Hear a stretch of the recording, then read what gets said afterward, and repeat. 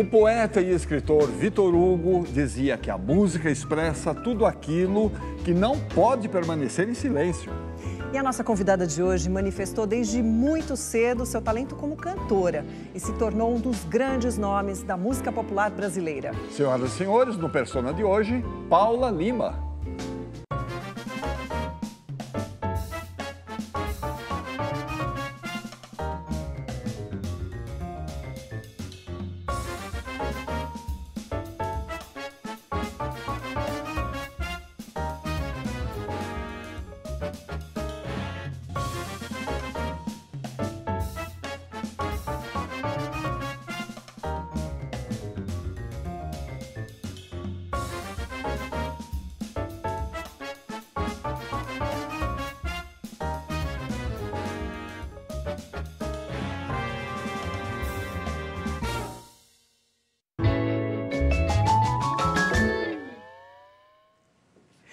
Paula, seja muito bem-vinda.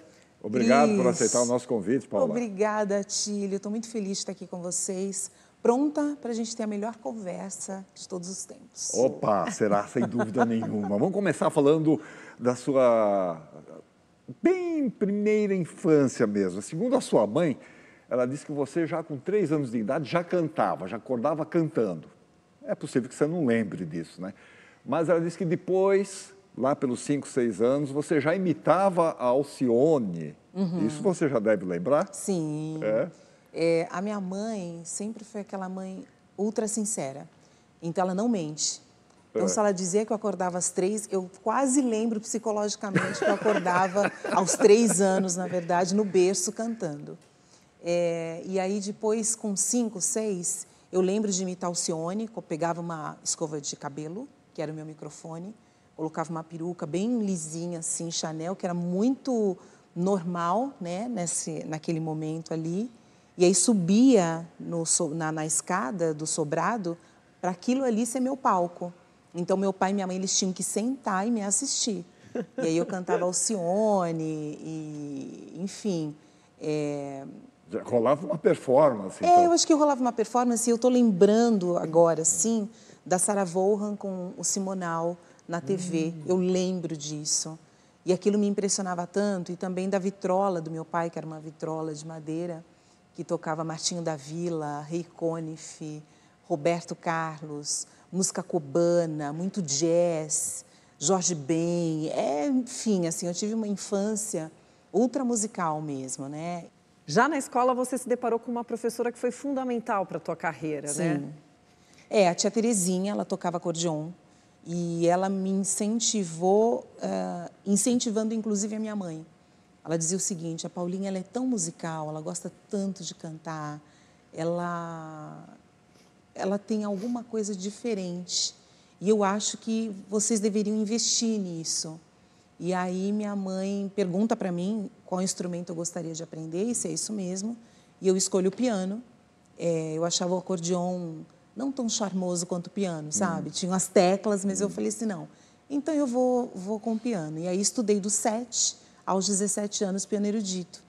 É, e foi super importante para mim, assim. E, e, eu, e eu sempre já cantava, assim, é, era oradora da turma e já me apresentava ali para a turma, e tanto no, no pré como no, no ensino médio. É, então foi é, é uma infância realmente assim e uma adolescência né, bem musical. Agora, você citou teu pai tua mãe, né? Uhum. Teu pai não era músico, nem sua mãe, não. mas o teu ambiente era muito musical. Sim. Agora, acho que música mesmo você começou a absorver foi na casa do teu tio, nas festas que ele promovia. É, ali. eu acho que meu pai foi o meu primeiro mestre, né? Então, ali com cinco anos, eu realmente lembro do que tocava ali em casa. E aí o meu tio era muito musical e ele ele tinha um universo diferente do meu pai. Meu pai tinha coisa do, do jazz, hum. da música cubana, do Martinho da Vila ali, com visgo de jaca, uma outra história. E meu tio tinha a Stylistics, Quincy Jones, é, a própria Whitney Houston, o primeiro disco, ele, ele, a gente usava vinil, né? A gente comprava uhum. vinil e ali estava Whitney, tipo, pá, Eu falei, gente, que mulher é essa? E aí, toda, todo, todo ano, né, o Djavan lançava um disco, então era ali que chegava o disco. Ao mesmo tempo, tinha fundo de quintal, então, e meu tio adorava fazer festa e churrasco. Então, quase todo final de semana. E eu e minhas primas, nós sentávamos, pegávamos o vinil ali e a gente decorava aquelas letras. Então, eu tive a oportunidade de entrevistar o Djavan e falar isso para ele. Seu disco era esperado. E a gente decorava, tipo, quem decorou primeiro? Quem vai cantar primeiro a música inteira e tal. Então, foi uma, uma, uma, uma harmonia né, que aconteceu ali. E isso acho que me passou, é, ou posso dizer assim, que eu pude aprender e absorver uma cultura e ter uma cultura musical diversa, mas sempre dentro daquela árvore é, cheia de ramificações, mas com o pilar né, e ali aquelas raízes sempre da música negra, que uhum. é o uhum. que realmente sempre bateu assim forte no meu coração. É, e depois eu, eu tinha umas amigas do, dos meus pais assim que estavam nessas festas elas eram a, casa, a cara do Jorge Ben. E eu achava que o Jorge Ben era um parente meu. Ah. Então eu tinha isso, tipo, gente, Jorge Ben é primo de alguém aqui, daqui a pouco ele vai chegar aqui. É um, uma das minhas grandes referências, né? É, e eu tenho uma história boa para contar. É, meu padrinho sempre foi um cara muito é, incentivador da cultura, assim como meu avô incentivou para que ele estudasse. Então, ele é o primeiro o, o primeiro dentro da família tem ensino superior, um engenheiro formado, imagina, ele hoje ele teria 90 anos, então imagina, né, na, naquela geração, um cara negro chefe dos engenheiros da Mercedes, ele era muito referência para gente assim. E ele tinha uma coisa de eu vou levá-los em lugares que vocês não iriam tão facilmente. Então eu lembro que o primeiro show que eu vi na vida foi do Earth and Fire, eu tinha nove, nove não, tinha oito anos, no ginásio do Ibirapuera. Olha. Fui eu, meus primos, e eu lembro desse show. Eu lembro do Maurice White ali. Eu lembro daquela performance, daquela energia, daquele som. E eu fiquei com a boca aberta o tempo inteiro. Meu tio, meu tio padrinho, ele olhava para mim e aí meus meus primos não estavam nem aí. Eu falo para eles até hoje, falo, olha, vocês dois estavam nem aí. É, um é de TI, outra hoje é dentista, mas eu estava assim. Aí meu tio falou assim, quando chegou no final, porque eu era pequena, né? Então, e a gente sentou naquelas cadeiras na frente. Eu estava aqui, o Ricci White estava muito próximo, assim. Ele falou, agora você pode ficar em pé. E eu lembro de ter ficado em pé e aquela coisa. Então, às vezes eu penso que talvez aquela magia ali específica daquele dia tenha me trazido para esse lugar. Agora, Paula, a gente preparou um quadro sobre uma artista que, com toda certeza, deve ter sido uma grande inspiração para você, tanto na música quanto na postura social, política e também como mulher. Olha só. Até acabar a. Elza Soares, considerada uma das maiores intérpretes da MPB, foi também um grande exemplo de superação através da arte. Nascida em uma família extremamente pobre, foi obrigada a se casar aos 13 anos. Foi mãe aos 14 e até os 21 trabalhava como faxineira para sustentar quatro filhos. Se acaso você chegasse no meu chateau encontrasse... Mas acontece que Elsa tinha um sonho e desde criança se imaginava como cantora. E foi na tentativa de salvar um filho doente que ela resolveu se inscrever no concurso de calouros de Ari Barroso.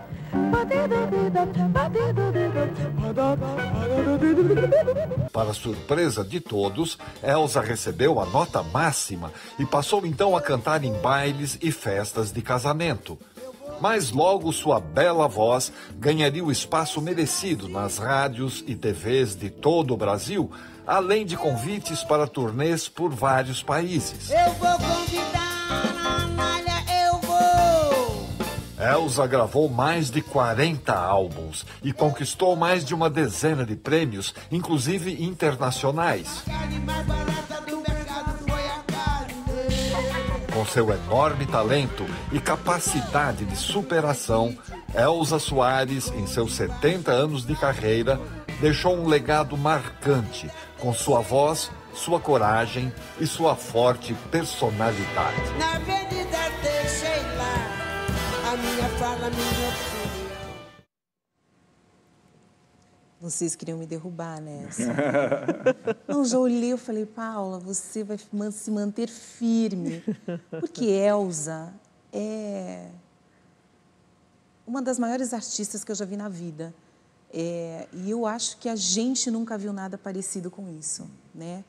A Elsa sempre foi minha referência, minha inspiração, mesmo no momento em que ela não estava ali, tipo, bombadíssima.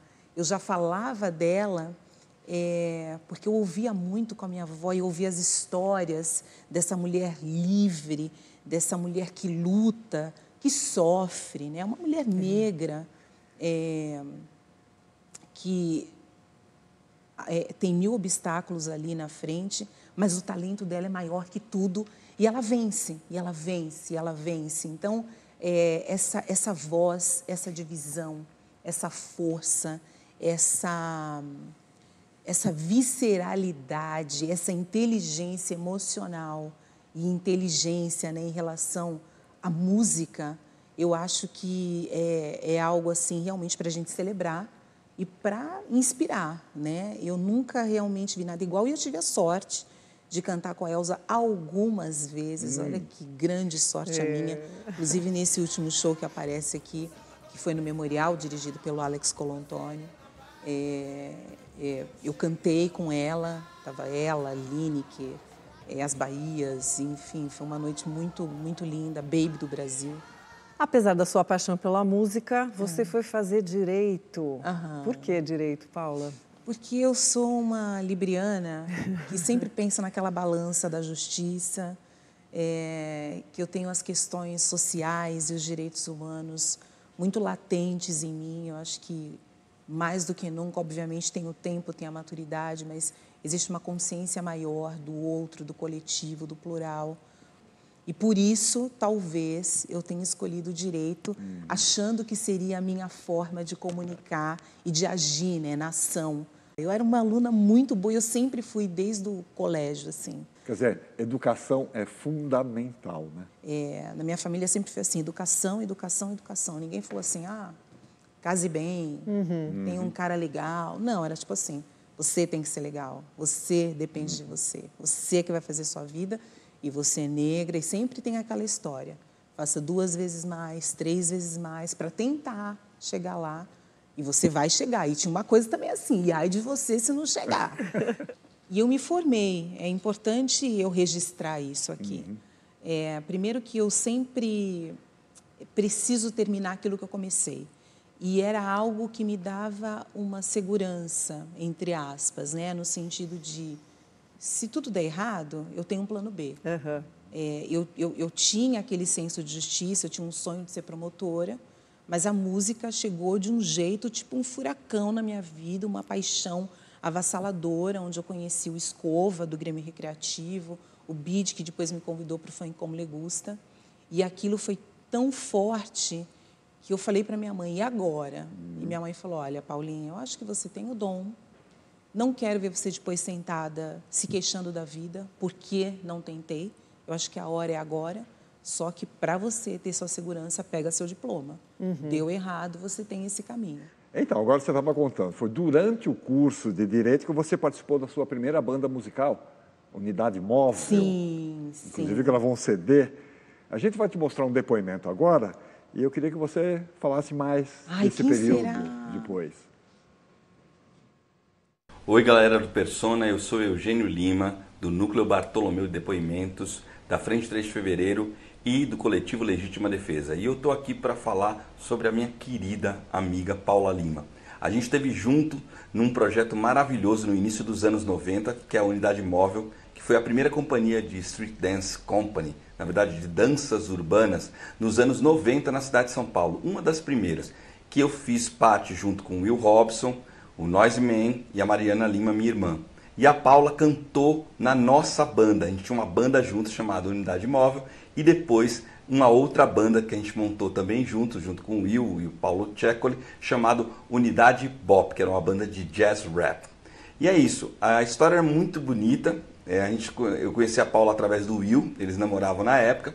E a Virginia Rosa, que era a nossa cantora, estava saindo do, do, da unidade móvel, ela ia fazer os outros projetos. E a Paula entrou. O engraçado dessa história é que a, a Paula entrou e eu falei assim, tipo, vamos, vamos pro ensaio. Ela falou, mas, mas você nunca me ouviu cantar. Eu falei, mas eu tenho certeza que você canta. E ela foi no ensaio e gravou Brand New Haves, Never Stop, e é isso. Beijão, Paula, saudade. Gente, que delícia, viu, Eugênio? A gente não se vê há uns 20 anos. Nossa. E eu tenho adoração por ele. E outro dia eu falei para o Marcos de Castro, cadê o Eugênio? Eu preciso do telefone dele. E agora eu ganhei esse presente. Ainda quando vocês falaram, ah, cantou, tal, eu falei, não acredito que eles conseguiram o Eugênio. É. E aí, para minha sorte, o Eugênio, ele é um dos caras mais geniais que eu conheço na minha vida e ele é fundamental para a minha história. E o Eugênio, assim, ele merece todas as, as salvas, assim, sabe? Porque ele é um cara extremamente culto, que pensa em cultura, pensa em compartilhar cultura. É um cara totalmente é, que abraça o outro. Então ele tinha essa companhia, era muita gente. E ele foi lançando as pessoas assim.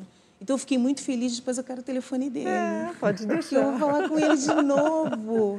E, e chama Eugênio Lima e nós não somos primos e nem nada. É. E a gente se dava muito bem assim. Eu aprendi demais com ele, com a família dele, a mãe dele.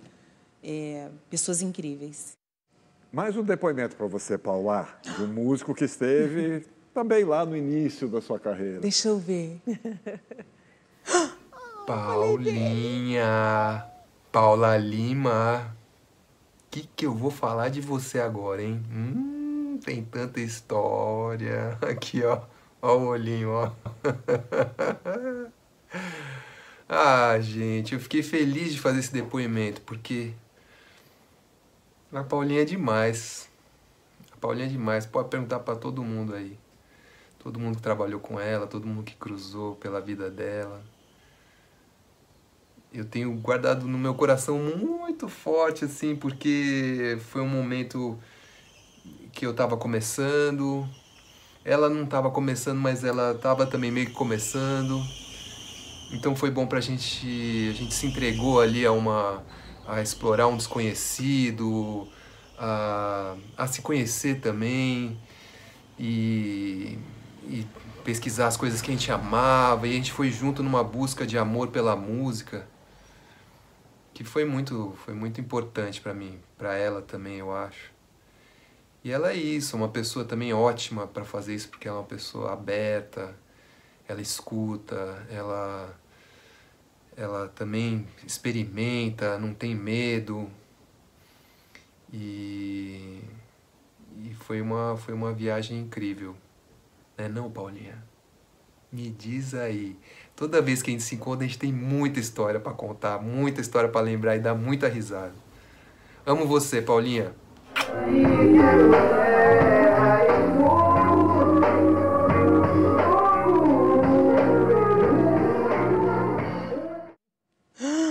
Eu tô em choque com vocês.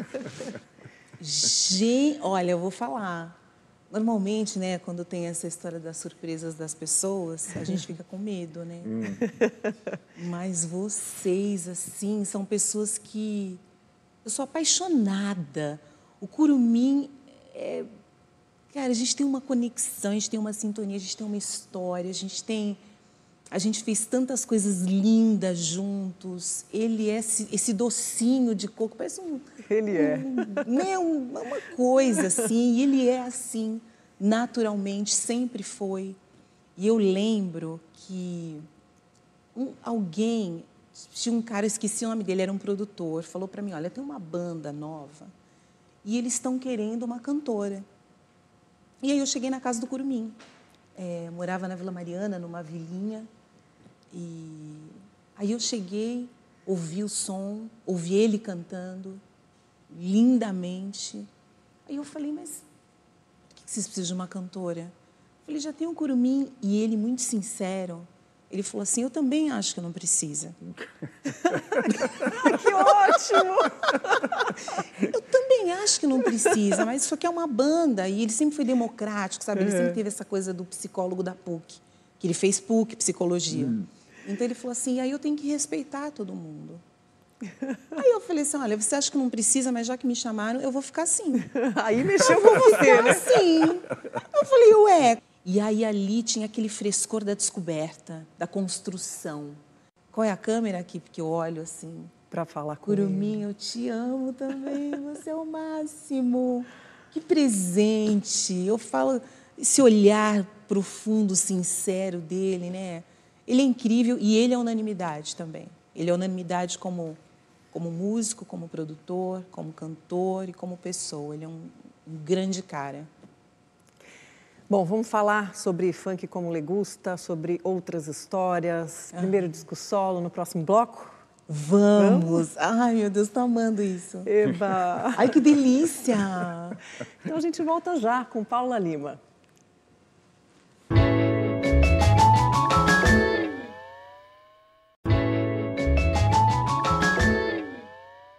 Pronto, Persona está de volta. Hoje estamos conversando com a Paula Lima. Paula, a gente já vai abrir esse bloco com um quadro que a gente preparou para você sobre a chamada Black Music. Uau. Uma forte referência na sua vida, né? Minha vida. Olha só.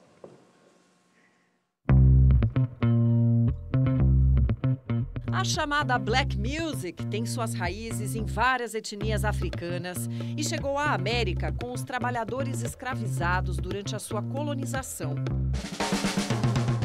Nas grandes fazendas americanas, as work songs eram entoadas enquanto lidavam com a terra. Nos templos religiosos, seus belos hinos proporcionavam uma conexão mais inspirada com seus deuses. Passar do tempo, ela se ramificou em múltiplas vertentes que deram origem ao jazz, o soul, o blues, o gospel e várias outras manifestações. Surgiram os grandes nomes da black music, como Aretha Franklin, Michael Jackson, James Brown, Eta James, só para citar alguns. No Brasil, a história não foi diferente. E além do samba, do machixe e do maracatu, a música negra ganhou espaço nas vozes de grandes artistas como Tim Maia, Jorge Benjor, Sandra de Sá, Seu Jorge e Paula Lima. Alguns dos inspirados representantes dessa que talvez seja a mais popular forma de expressão musical do planeta. Foi somente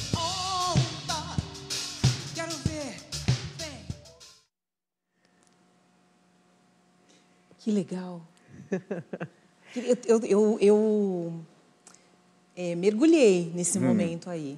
Tudo faz parte da minha vida, tudo eu ouço, tudo eu toco, tudo tem a ver comigo é muito a minha verdade, são as minhas referências, é o que me faz tremer, o que, o que me, me move.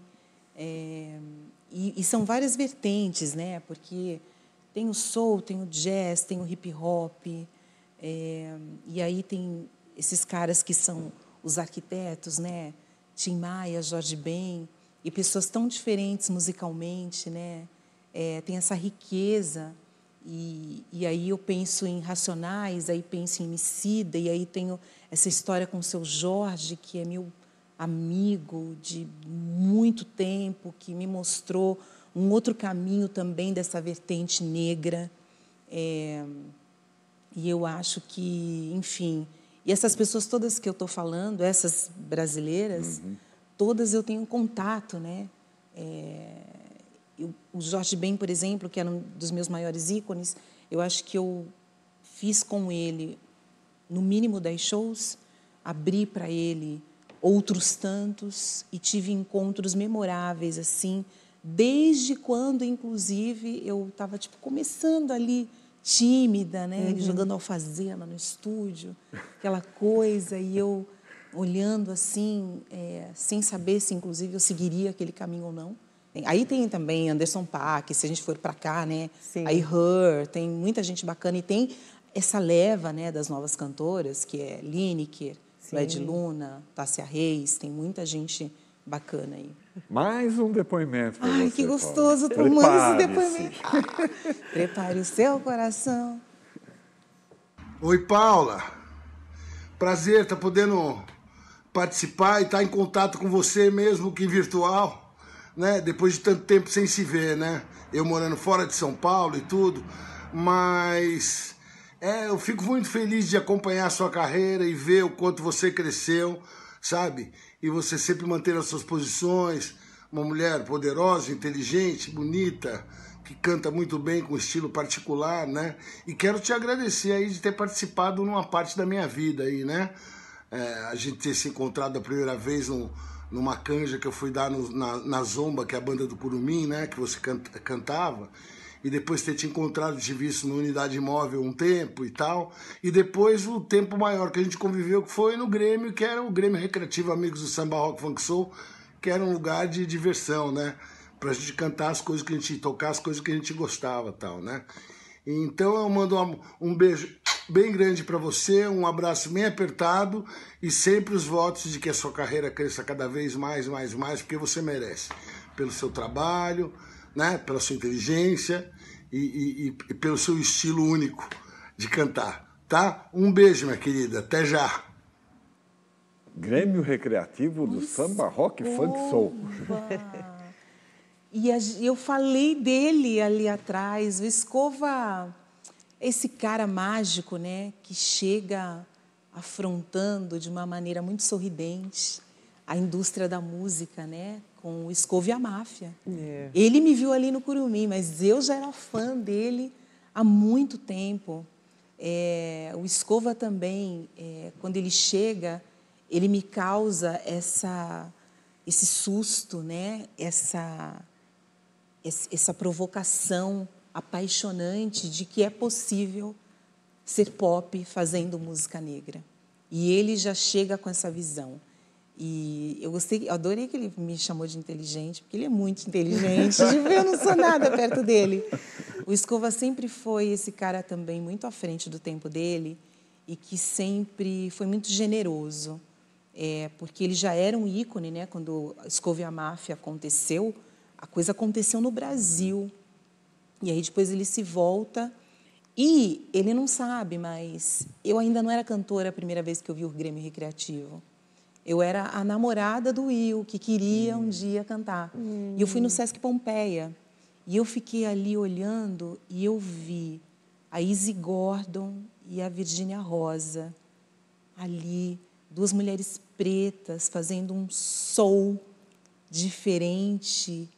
Eu falei, cara, eu queria cantar isso, eu queria ser elas. Eu queria poder estar nesse lugar, nesse, nessa banda, nesse Grêmio Recreativa, com esse cara que eu já era muito fã. E aí um dia surge a oportunidade dele recriar o Grêmio, e aí eu faço parte. E uma coisa que ele não contou, que é importantíssima, ele tinha uma relação muito forte com o Jorge Ben, e ele era produtor, e o Jorge convidou para ele produzir duas faixas do CD 23, que era uma volta também do Jorge. E aí ele colocou o Grêmio para cantar, que foi aí que rolou Alfazema, e que foi esse meu primeiro encontro com esse ícone, eu novinha ainda, tímida, sem saber como colocar voz, como abrir voz, como fazer parte de um coro. É, e ele me deu essa oportunidade, então eu fico muito feliz de reencontrá-lo. Muito se falou do funk como legusta já, então é claro que não podia faltar um depoimento de, de alguém de lá. Ai, eu sei, eu sei. Olá, aqui é o Stolarski. Eu conheci a Paula Lima no início dos anos 90, quando eu cheguei a fazer algumas apresentações ao seu lado na banda Unidade Bop. Também fiz alguns shows no lugar do Curumim, na banda Zomba, da qual Paula Lima fazia parte. Alguns anos depois, havia uma noite aqui em São Paulo chamada Funk como Legusta, que depois virou o nome da banda. E nessa noite sempre haviam vários convidados, tipo o seu Jorge, Ed Mota e a própria Paula Lima, que na sequência fomos chamados para gravar um disco no, no, qual Paula Lima participou lindamente ao lado de Sandra de Sá, Fernanda Abreu, entre outros. E aí fizemos vários shows por aí, lançando o disco. Mas desde sempre Notei o talento de Paula, sua voz única, sua digital. Não tem como você não ouvir a Paula e já saber, é a Paula Lima. Então, Paulinha, super prazer em te conhecer e ter feito tantos trabalhos bonitos com você. Tá bom? Muita sorte, um beijão. Que legal o Cook representando o funk como ele gusta. É... O funk como ele gusta foi um marco na minha vida. Eu digo que foi um divisor de águas. É... Cook, um beijo para você. Obrigada por esse astral. O Cook é sempre um cara muito do bem, muito bacana. E ele, junto com o Serginho Bartolo, o Bide, que hoje não faz mais parte do Fã Como Le Gusta, mas foi o mentor dessa banda, é, eles criaram um conceito, uma noite e uma história. E eu tenho, eu tenho muita história para contar com o Bide, né, que foi o tempo que eu vivi com eles. assim. É, obviamente, o Cook ali tocando, o James, a Simone Soul, o Serginho Bartolo, o Emerson Villani, é, o Cotarelli, um monte de gente bacana, assim, era uma parede sonora, 13 músicos, e eu novinha, assim, e aqueles caras, um já tocava com Titãs, outro já tocava não sei aonde, outro já tinha um estúdio de produção de jingle, e eu, tipo, opa, o Bid, né, que chegou cheio de ideia, morou fora, e sempre teve um conhecimento muito grande, já tinha trabalhado com Liminha, então, era uma galera de peso, assim. E eu cheguei uma no Fem Como Legusta e saí outra, né? Porque eu me fortaleci muito sonoramente e esteticamente no sentido palco, né? Eu entendi o que era fazer parte de uma banda, né? E, e muito legal, assim, principalmente no caso do Bid, um cara que consegue ter um olhar sobre o talento, sem pensar em gênero, em raça, em classe social, que ele é um cara que vinha de um outro lugar. E aí ele só viu o talento ali e ele me ligava semanalmente falando: quando você vai tocar com a gente? Quando você vai cantar com a gente? E eu não, eu não tinha ideia da dimensão da sonoridade. E aí um dia eu chego na, no anexo Domus e aí eu vejo aquilo Aí eu fiquei tão impactada, eu falei, meu Deus, o que está acontecendo? E aí eu chego em casa, quatro da manhã, e a mãe fala, mas você vai começar a ir toda semana lá? E não tem cachê, e nove horas da manhã você tem que estar no Tribunal de Justiça? Aí eu falei, não, mas é porque você não vai entender o que eu vi. Eu preciso ir, é mais forte que eu. Ela assim, você ainda paga o estacionamento para cantar? eu falei, mãe, é uma coisa que eu nunca vi. E depois a minha mãe vira uma apaixonada pelo filme Como Ligusta. Então, quando a gente estava lotando ali o Sesc Pompeia, onde, onde fosse, ela e meu pai, os doisinhos ficavam assim. tipo, encostadinhos já no ah, palco, assim. Então, assim, muita coisa bacana. Eu quero deixar um beijo para o funk, né? Cook, Serginho Bartolo, mas Pobide, obrigada. Você foi incrível. E como você falou, foi essa, essa, esse momento né, de, de desmame ali do funk como legusta é... e de entrar no seu primeiro trabalho solo. Como Sim. é que foi? Conta um pouco sobre esse teu primeiro ah, disco. Foi... Foi êxtase. Porque eu tinha muita coisa guardada, né? Imagina, tudo que eu vivi hum. durante todo esse tempo, com Zomba, com Unidade, com Fã Como Legusta, com todo mundo que cruzou meu caminho. E aí eu sabia exatamente o que eu queria. E eu estava muito certa de quem tinha que produzir o meu trabalho. E eu não ia abrir mão disso. Eu lembro que eu cheguei a falar para o Bernardo: se não for o Max, eu não vou fazer. Eu não vou fazer. Porque, primeiro, que aquela coisa do, né, da jovialidade, você fala: não, é, isso não é um, algo que eu estou perdendo. Eu só preciso acreditar naquilo que eu sinto. E eu estava muito, muito, muito próxima do seu Jorge, que era meu irmão. Eu ficava, me hospedava na casa dele, ele me mostrava a banda, a gente viajava, a gente, tipo, era, era muita coisa acontecendo. E ele me apresentou. Eu, vou, eu só vou, antes disso, contar como eu conheci o Jorge. Eu estava na Zomba e tinha uma banda que chamava Manimal. Eles iam fazer um show no Sesc Pompeia, você lembra do Manimal? iam fazer um show no Sesc Pompeia. E aí eu falei para o Cássio, que era o baixista da Zomba, falei, vamos lá comigo? Porque me chamaram e eu não sei, eu vou assistir. Aí estou lá em cima, assistindo. De repente, entra o seu Jorge de convidado, que eu nunca tinha visto pessoalmente. Eu via no Farofa Carioca, mas. E aí ele, ele entra cantando a carne. Imagina que impacto tem aquela voz, aquela pessoa entrando num palco, e aí vira um silêncio, e aquela força, porque ela é uma música revolucionária, que hoje a gente fala muito sobre isso, inclusive. Mas logo que ela surgiu, sei lá, a, foi 96, 97, estou dando dica de tempo aqui. Mas era uma coisa que era muito é, colocada sutilmente, com muito talvez um pouco de né? receio né? com é. isso. A carne mais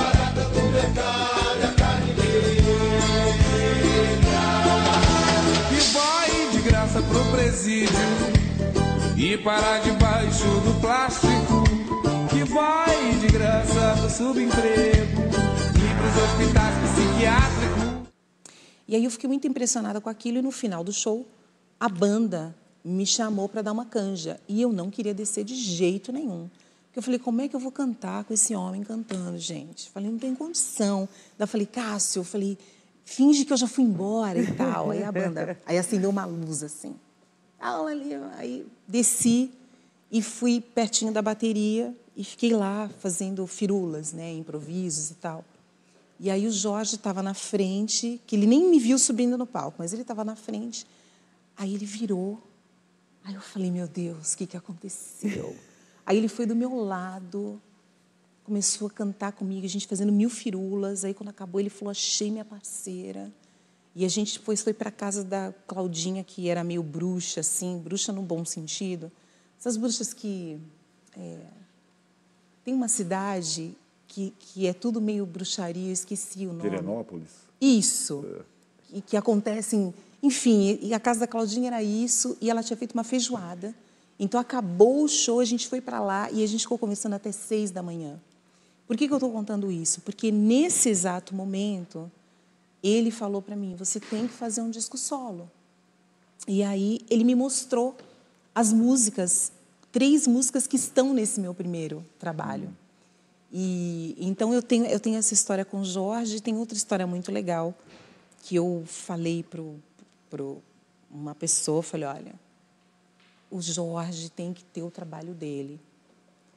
Sem ele, a música brasileira está perdendo.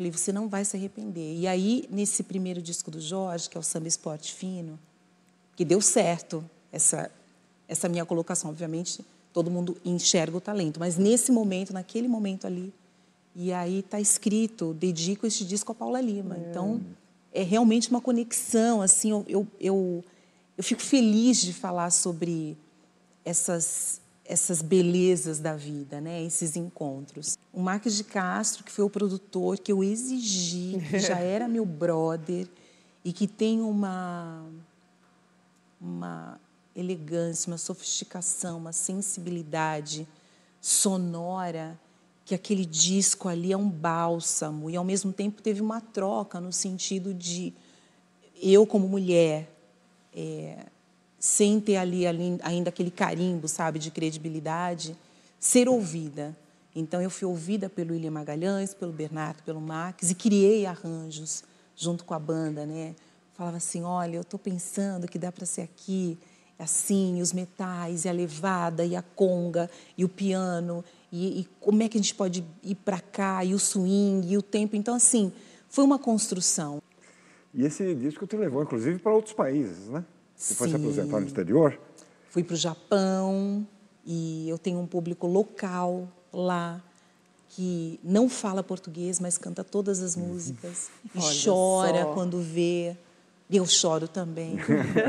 e aí eu canto em templo, e canto em templo, que obviamente é um resort, que parece um templo, não é no templo, né? Mas é uma, um, um, aí eu canto num lugar super tradicional e canto em Tóquio também, onde só tem gente moderna. Então eu tenho uma, uma paixão pelo Japão. Muito bem, Paula. A gente vai fazer mais uma pausa. Uhum. No terceiro bloco, a gente vai falar um pouco do seu trabalho como atriz, como apresentadora como e, e, também, sim, como atriz, por que não? É, claro e também um pouco mais da sua música, tá, tá bom? bom? Voltamos já com Persona. Ai, que delícia de programa.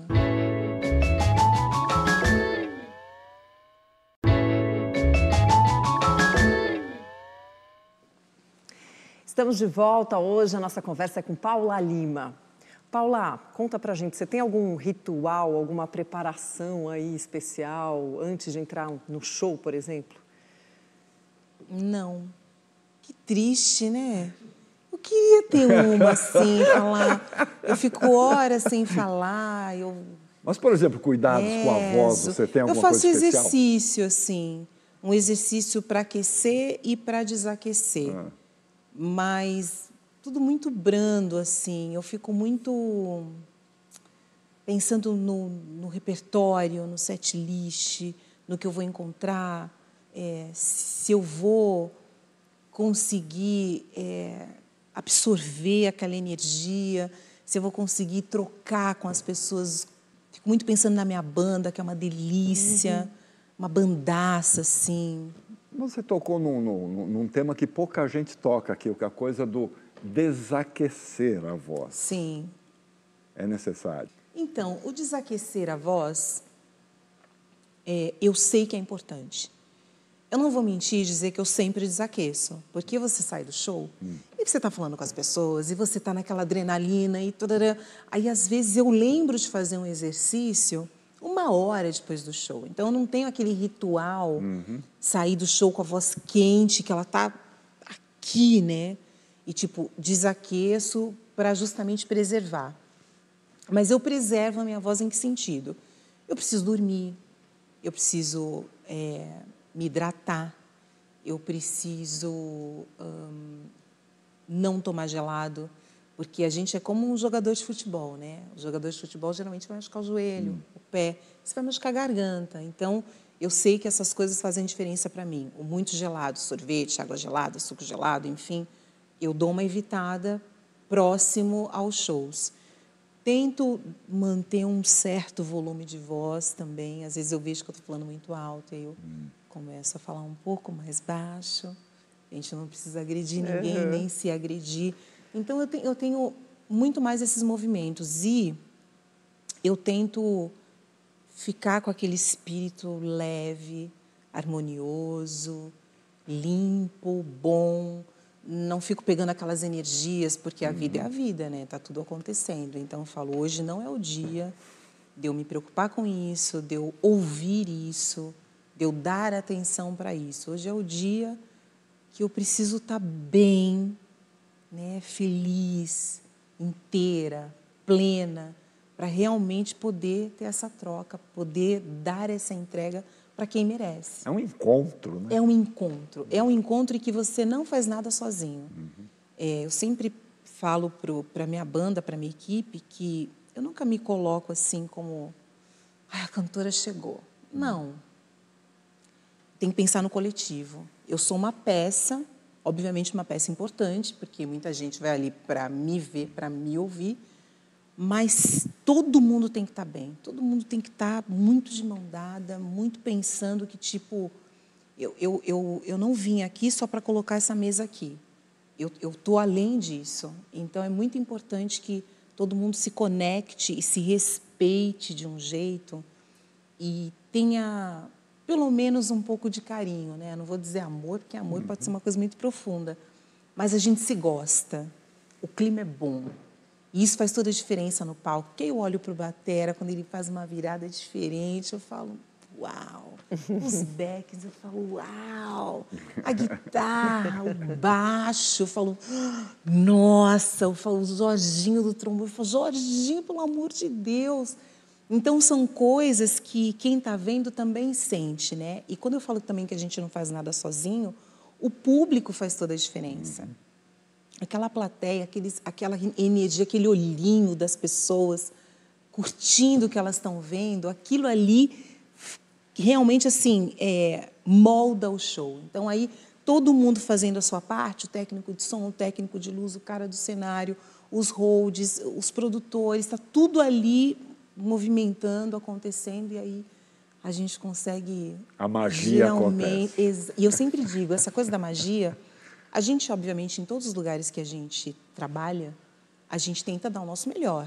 é fato. Ninguém fala assim, vou fazer um negócio, ah, eu não estou afim. Não. A gente trabalha com arte, com entretenimento. Com certeza. É uma coisa que mesmo que às vezes antes você está meio na hora, você fala, não, eu vou dar o meu melhor.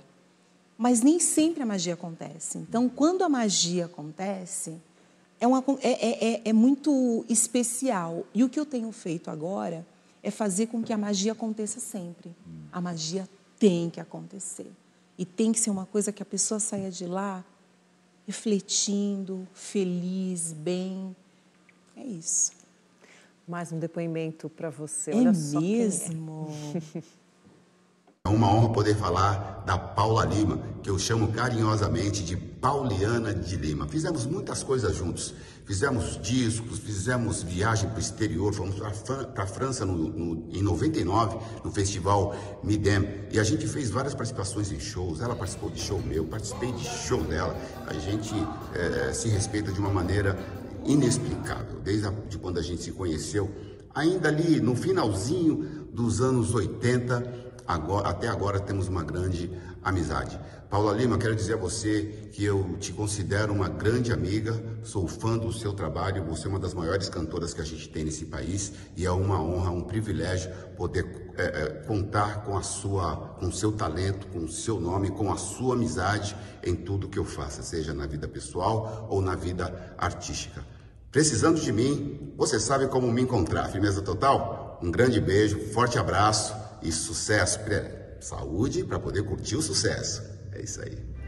Segura nega, segura nega, viu? Segura nega, segura nega, viu? Eu com a boca aberta assim. ah, o Taíde é uma paixão, né, de pessoa, uma paixão nacional, um gênio eu falo para ele que eu não posso conversar muito com ele porque o raciocínio dele é muito rápido assim hum. é, e ele é de um talento de uma vibração de uma verdade é, primeiro que assim ele é um dos arquitetos do hip hop do Brasil não é pouca coisa Sim. não pioneiríssimo né? ele né? não é é tipo pioneiro e, e eu tive momentos inesquecíveis assim com ele DJ1 né? A gente viajou realmente o Brasil e teve uma fase que ele participava de muitos festivais e festivais junto com Planet Ramp, com Racionais. Então imagine eu descobri um universo através dele é, e eles me mostraram sonoridades que eu nunca tinha imaginado ouvir. E, e o Taíde, além de tudo, ele tem uma ele tem um domínio de palco, de gente, ele tem um, uma energia, uma luz, é, que ele foi meu professor. Eu acho que tem muita coisa que hoje eu, eu, eu, eu consigo me virar, né? Que tem, as pessoas falam tem que ter baile. Hum. É que o Taíde foi o meu professor, assim, um cara que sempre torceu, um cara do bem, é, enfim, é, Taíde, eu chamo ele de Taz. Tasmaníaco. Ah, genial.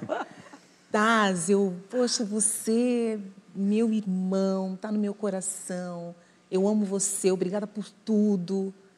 Caramba, a gente viveu coisas incríveis. É muito, muito bom, assim. Paula, aí aparece na sua vida o musical Cats. Sim. Você que não era atriz. Não. Como é que recebeu esse convite? Como é que você se preparou para fazer um grande eu, musical que foi um grande sucesso, inclusive, né? Eu levei um susto, é. né? Eu falei, esse povo tá doido.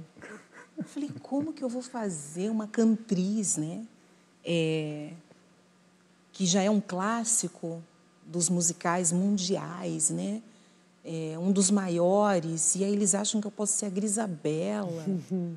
E essa técnica, né, do, do belting, era muita coisa envolvida, assim. Mas aí teve uma hora que eu falei, gente, se os americanos que criaram a história, que teve, teve o original ali, a galera original, se eles acham que eu posso, por que, que eu não acho que eu posso? Porque, de toda forma, eles têm um, uma, um conhecimento e uma vivência e uma expertise maior do que a minha para este negócio. Então, eu vou me jogar. E foi assim. Aí ficamos um ano em cartaz. Foi duro, porque é uma rotina, assim, é uma rotina de atleta. Parabéns para quem faz musical, não é mole não. É, porque era de. Primeiro que a gente ensaiou três meses, de segunda a sexta, das oito da manhã às seis da tarde.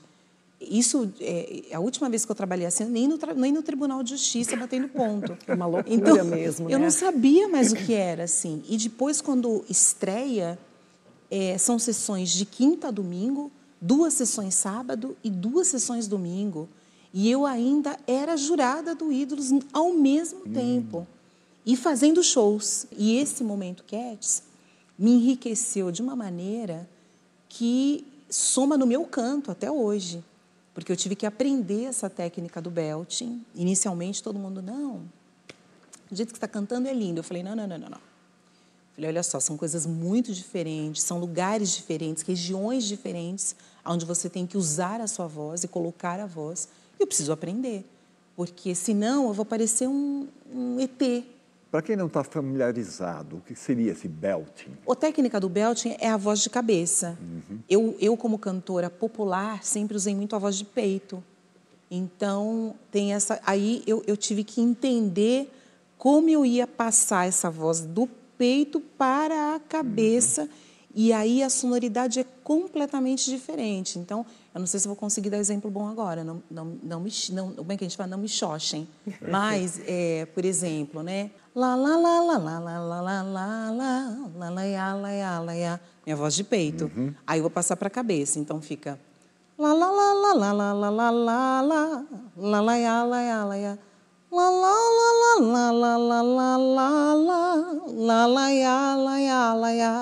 É diferente, é.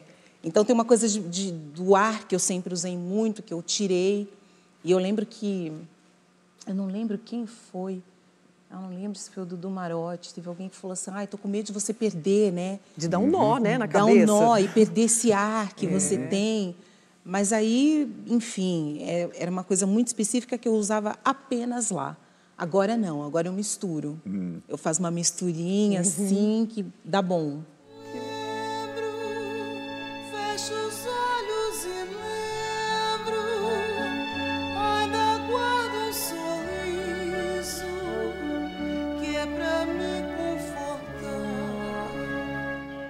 Paula, você já passou por várias fases da indústria fonográfica e agora você está entrando num projeto que envolve o metaverso. Tudo que fala de metaverso, todo mundo fica com a cabeça meio confusa. É, eu Explica também. rapidamente o que, que é isso. Eu também fico muito confusa, assim, né? Vivendo esse, esse mundo paralelo virtual. Uhum. Né? Eu acho que é novo ainda para todo mundo. É engraçado que a gente já fala de metaverso já uhum. faz um tempo mas a gente está sempre tentando entender. É. E eu sou uma dessas pessoas, né? Eu fui convidada pela Simone Sancho e pela Cíntia a fazer parte de um, um grupo de mulheres, porque elas tinham essa visão de que nós mulheres não poderíamos ficar atrás, porque geralmente coisas assim são muito uhum. masculinas, né? Primeiro os homens.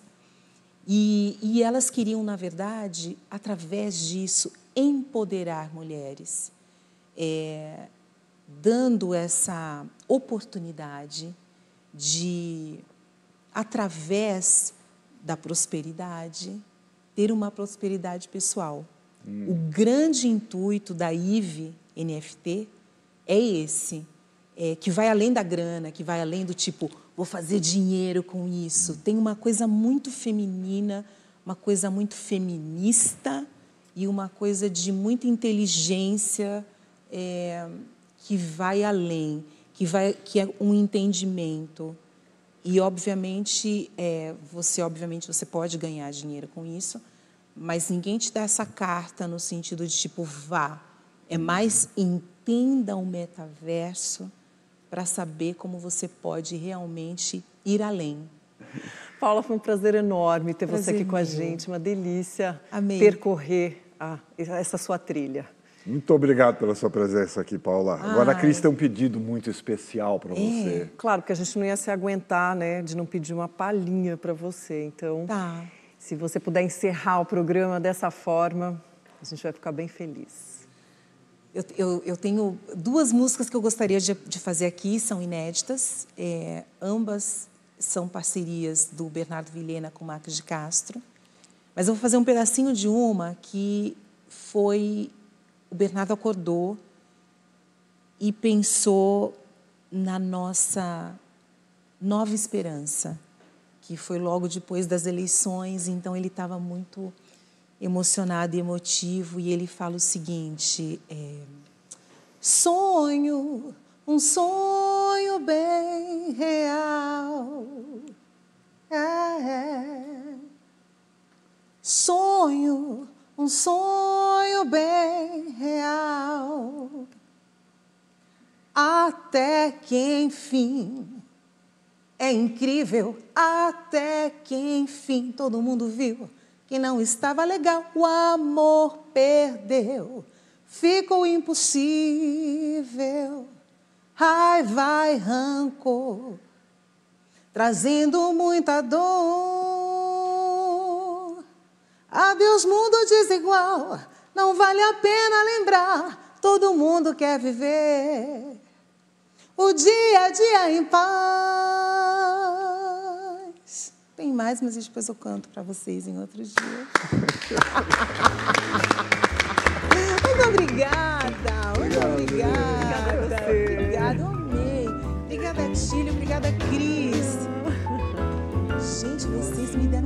Gente. Muito lindo.